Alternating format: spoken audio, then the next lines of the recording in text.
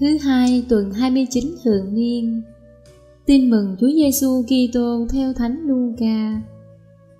Khi ấy, có người trong đám đông thưa cùng Chúa Giêsu rằng: Lạy thầy, xin thầy bảo anh tôi chia gia tài cho tôi. Người lại nói với họ thí dụ này rằng: Một người phú hộ kia có ruộng đất xin nhiều hoa lợi, nên suy tính trong lòng rằng: Tôi sẽ làm gì đây? Vì tôi còn chỗ đâu mà tích trữ hoa lợi? Đoạn người ấy nói Tôi sẽ làm thế này Là phá các kho lẫm của tôi Mà xây những cái lớn hơn Rồi chất tất cả lúa thóc và của cải tôi vào đó. Và tôi sẽ bảo linh hồn tôi rằng Hỡi linh hồn Ngươi có nhiều của cải dự trữ cho nhiều năm.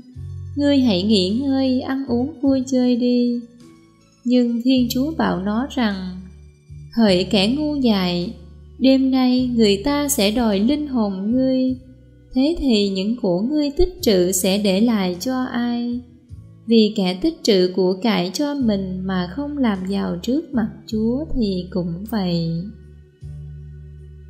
Suy niệm Hội Thánh dành tháng 11 hàng năm để cầu nguyện cho các tín hữu đã qua đời.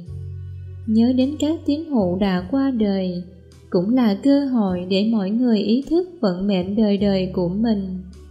Không ai trong loài người này sẽ sống mãi, sớm hay muộn mỗi người phải đối diện với cái chết.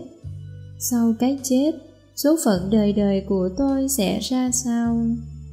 Nhà phú hộ trong dụ ngôn đã có tính toán rất khôn ngoan. Ông sẽ tích trữ cho có thật nhiều tiền của sau đó chỉ hưởng thụ thôi, không phải âu lo sợ hãi gì nữa.